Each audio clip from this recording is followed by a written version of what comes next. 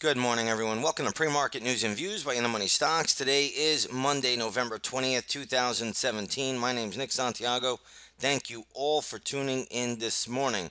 All right, looking at this market, we have the S&P 500 E-mini futures trading higher by two and a half points. You can see futures really came rocketing off the lows around 1.30 in the morning. They were down and down decently, and now they are positive by uh, two and three quarter points at the moment. So futures really have caught a strong bid. We'll see how this market plays out. Remember, this coming Thursday is Thanksgiving. Is going to be a holiday shortened trading week. It is expected to be very, very light volume. So, again, got to take that into consideration. But in the meantime, we have lots of stocks in the news. Let's get started here. We're going to talk about Cavium. Ticker symbol is CAVM.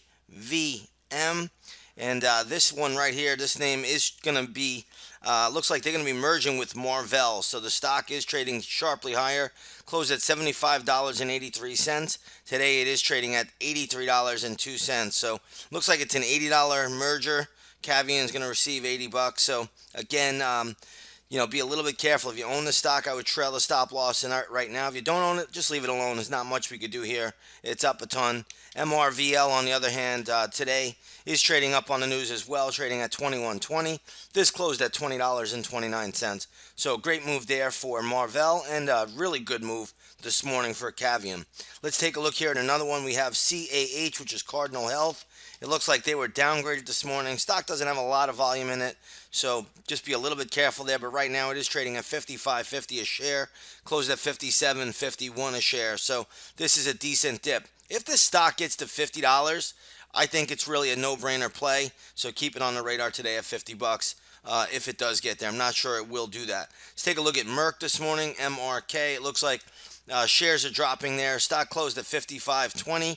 Right now it's trading at 54.05. Looks like uh, Roche came out with a competing cancer drug, and uh, Merck shares down on that news. Uh, I do have levels for Merck um, today. So again, if you are uh, going to come over and trade with us, I'll try to have those posted up before the opening bell in the intraday stock chat room. So Merck is going to be in play today. And again, Merck falling on uh, news that Roche is coming out with a com com uh, competing cancer drug. So again, keep that on the radar.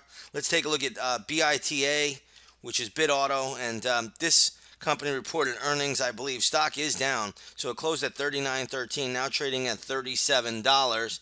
So there's not a whole lot I'm looking to do just yet, but we'll be looking at this one once the opening bell rings.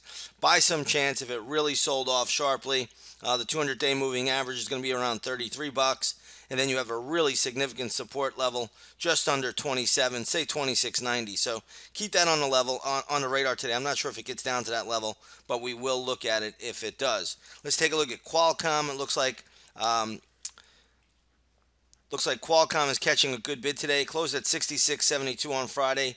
Now trading at 67.13. The news out on Qualcomm this morning, and I did see it, is that investors are requesting at least $10 a share more uh, so they're looking for more than $70 a share from uh, Broadcom. So they're looking, if they're going to be bought out, they want to be brought, bought out by, by about 80 bucks. So again, um, nice little pop there this morning. We'll see if that news is significant once the opening bell rings.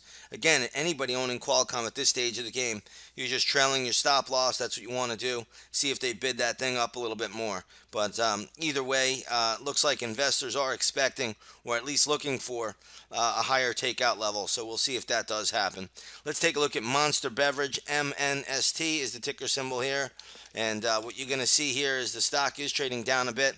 This is on the back of a downgrade. Stock closed at $62.17 on Friday. It's now trading at $60.66 uh, 60 cents this morning. So a good little pullback there on the back of a downgrade. In all fairness, Monster Beverage was a bit overbought, so I, I don't really disagree with this downgrade here. I kind of agree with it, and we'll see how it plays out. Again, the stock uh, should have some pretty decent support levels uh, if it does fall further, but right now it's still way too high. We'll look at this one once the opening bell rings today. Let's take a look at General Motors. It looks like they were uh, upgraded today. GM right now trading at $44 and 37 cents. That's uh, up from $43.88 at the close. So good little uptick there. I don't see a lot of upside in GM from here, but we'll we'll keep an eye on it. We'll see how it plays out. Let's look at Walmart. It looks like they were also downgraded this morning. Walmart right now trading at $96 and 30 cents. Walmart's had an amazing run. It got to 100 bucks on Friday and again pulling back off that level. So I don't see anything horrible for Walmart, just an overbought condition and again, uh, downgrade at this stage may be warranted from the big move it has had. So we'll see how that plays out. Let's shift gears here a little bit. Let's go over to the gold market. Gold is down $5 today, trading at $1291.40 an ounce. If you take a look at the GLD, which is a good way to track the movement in gold, you'll see that's trading at 122.63, down from 122.87 on Friday. So GLD under a little bit of pressure. Gold itself, spot gold, under pressure as well, down five bucks this morning. All right, let's go over to the oil market. Crude oil down 39 cents right now, trading at $56.32 a barrel. If you take a look at the USO, this is how you track the oil market, and you can see that's trading at 11.26, down from 11.35 at the close. I'm not seeing anything great or terrible for crude right now. Uh, gold down a little bit. We'll see how this all plays out once the opening bell rings. Again, Mondays are a little bit on the lighter volume side. This is also a holiday shortened trading week, so I'm not sure we're going to get as far as volume is concerned. But either way, uh, we're going to watch these markets, see what's in play, and we'll try to make some money there. We've had a great 2017 in, in the intraday stock chat room. We're going to look to keep that going right into the end of the year. If you haven't done so, come on over, take that seven day free trial to the intraday stock chat, and you'll see what it's all about. You can trade right alongside of us. With that being said, everybody, I want to wish you all a great trading day, and we will see you on the charts.